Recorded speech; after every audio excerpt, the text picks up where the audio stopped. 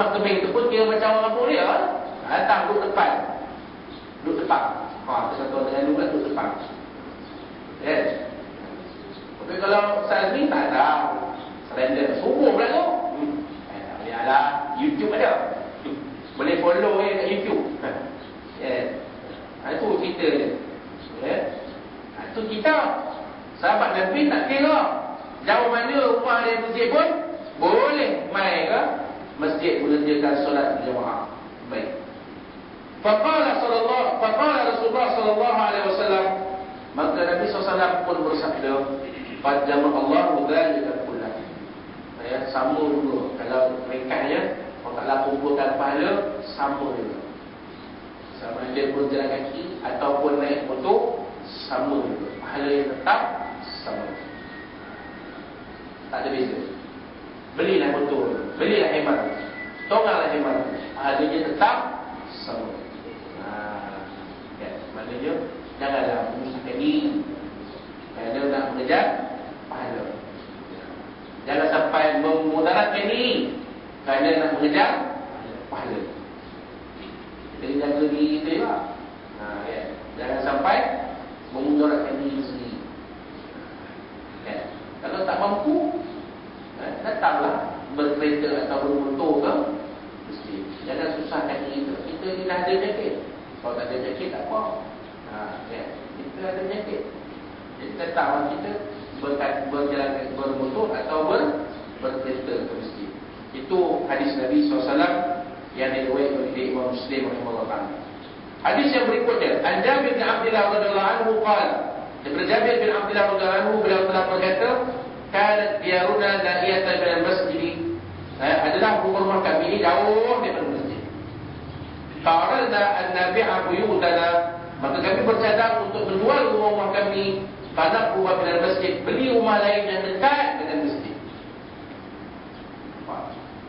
Ini sahabat Nabi SAW Rumah jauh di masjid Sanggup jual rumah Nak beli rumah baru dekat dengan Anak kita terbalik Dapat rumah, lot rumah dekat masjid Tak seronok Tak seronok lah bang Eh, Kan bagus rumah kamu dekat masjid ni. Tak syok lah banyak. Dia orang lain nak tambah lain lah.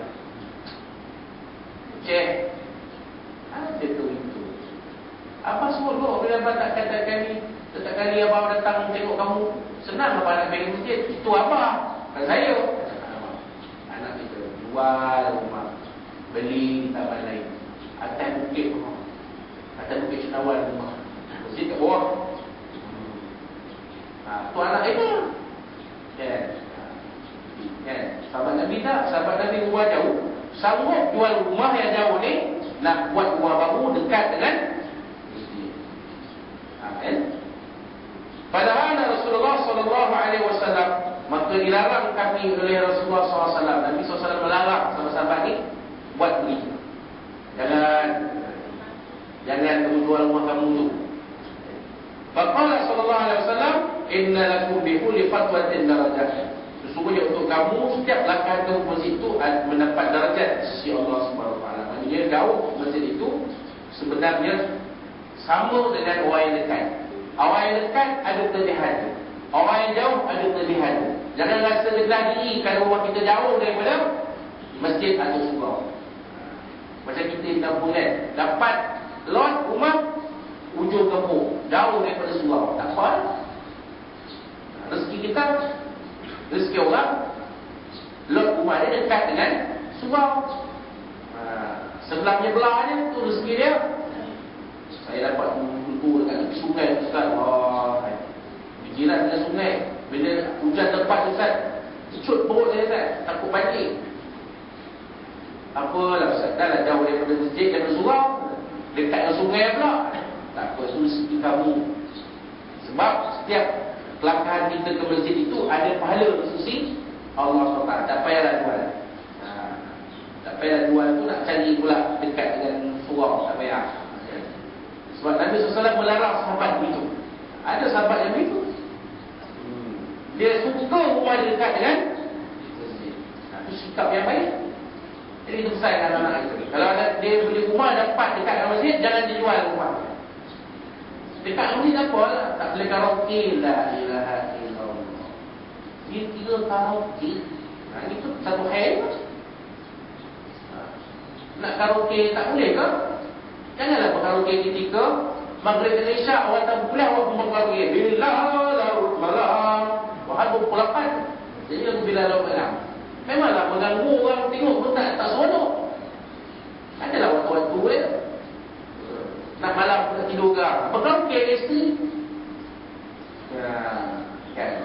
Eh, dalam bilik ha, Suara rendah kan Jangan kuat kan Ganggu jiran Rendahkan suara Bila lalu Jadi isteri nak apa lah Pukul tiga pagi Tidurlah kita Tak apa lah Kita dengan isteri tak Okey Kedua dalam bilik Suara berendah Tak apa lah. Dia pasal karaoke tak dapat karaoke nak jual rumah. Dekat dengan masjid tak dapat tak kena. Kan?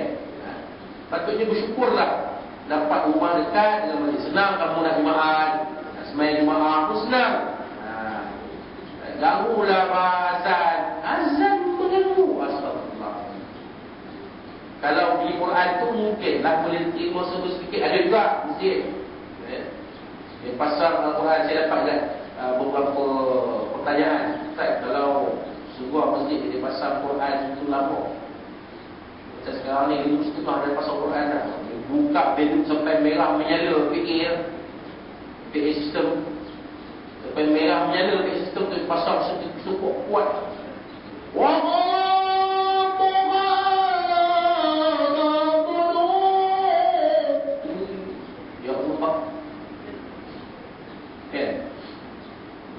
ada tidur.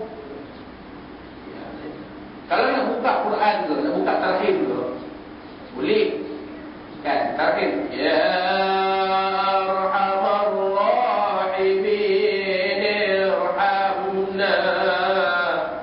Kan, terakhir. 10 minit sebelum azan. Waktu imsak, itu boleh buka. Tak ada masalah. Buka lah Quran terakhir. Lepas tu, jangan diakkan sampai belah je lah ambil-ambil hijau dan kuning, tak boleh. Saya sayur. Ya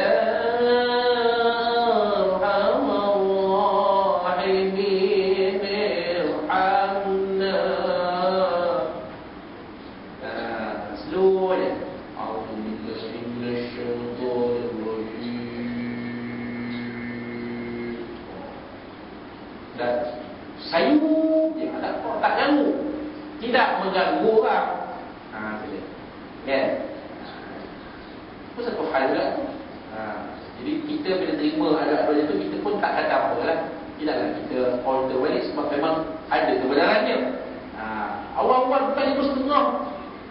Orang dalam bertahajud. Dia pun buka.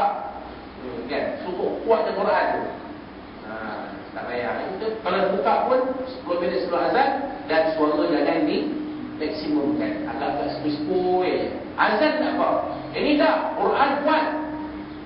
Sampai merah. Azan pula.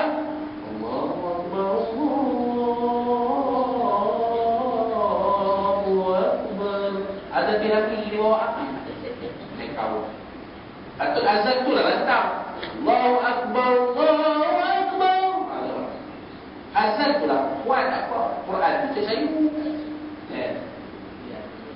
Ada juga yang bercadangkan Ustaz Nak mengatasi masalah ni Apa kata kita azan pertama Azan kedua Macam di Masjid Al-Haram Masjid Nabi. Boleh tak Ustaz? Atau pulang.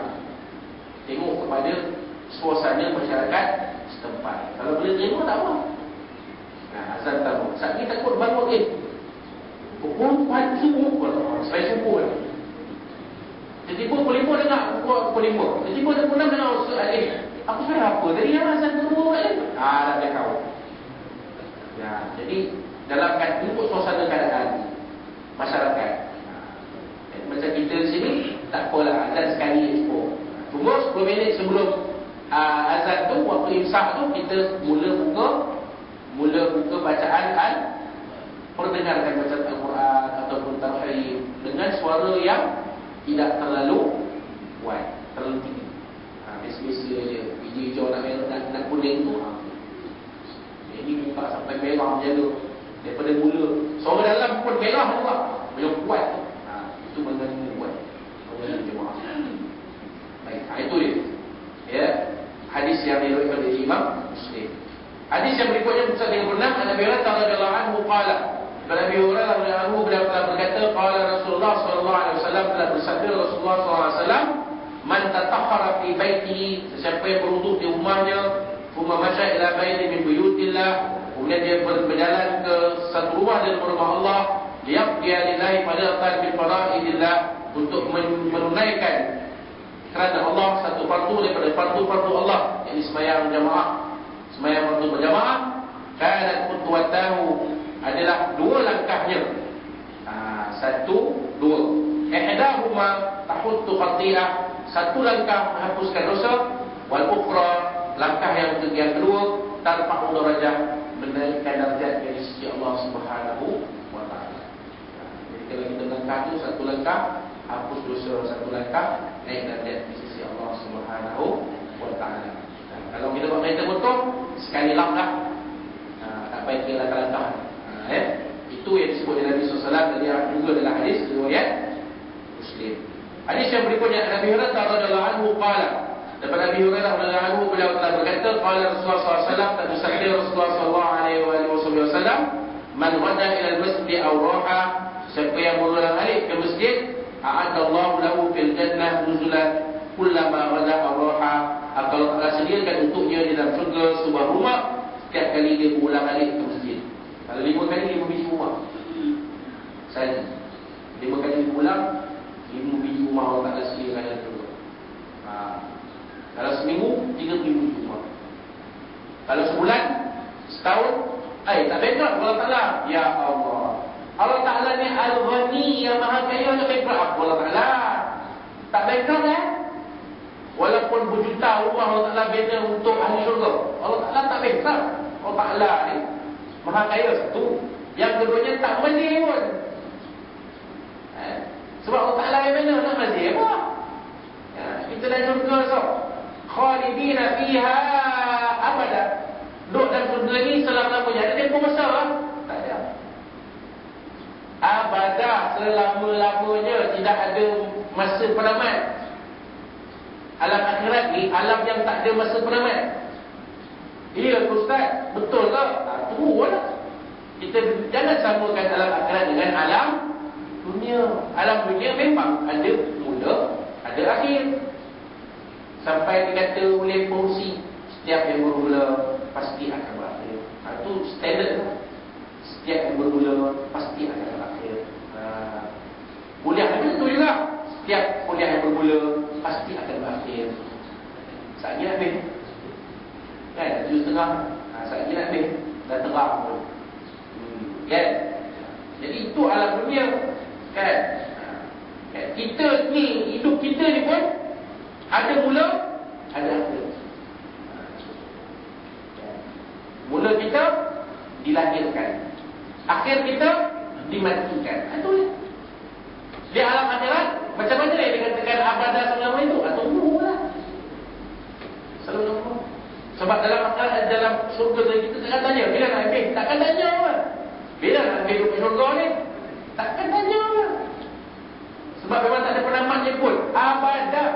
Selama Kadang memang kita Syaitan ni memang dia sengaja buat musik nakal dalam tempat dalam